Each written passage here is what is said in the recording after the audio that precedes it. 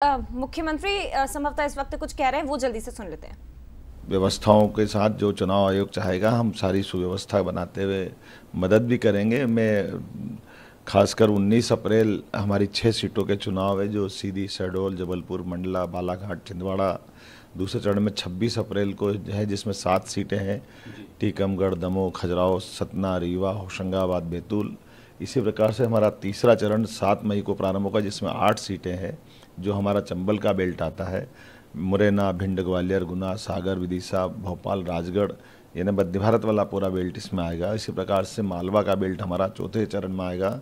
इसमें तेरह मई को इसके वोट डलेंगे। देवास उज्जैन, इंदौर, मंदसौर, रतलाम, धार, खरगोन खंडवा, ये निमाड़ और मालवा का बेल्ट रहेगा। मुझे पूरा भरोसा है, चुनाव आयोग के मार्गदर्शन में हमारे अपने सभी मतदाता अपने मताधिकार का उपयोग करेंगे और खासकर इस लोकतंत्र के पावन यज्ञ में हम सबकी जवाबदारी भी और चुनाव आयोग ने जैसा कहा है, हर व्यक्ति को वो कोशिश करेंगे, हर एक व्यक्ति का वोट डले।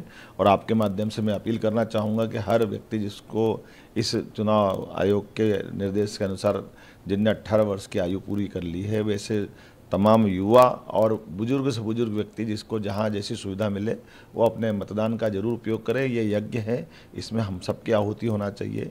ये इक्कीस शताब्दी का भारत है, जिसमें हम सबका भागीदार होना इस लोकतंत्र के लिए गौरव बढ़ाने वाला रहेगा। मेरी अपनी ओर से एक बार फिर चुनाव आयोग के प्रति धन्यवाद। सर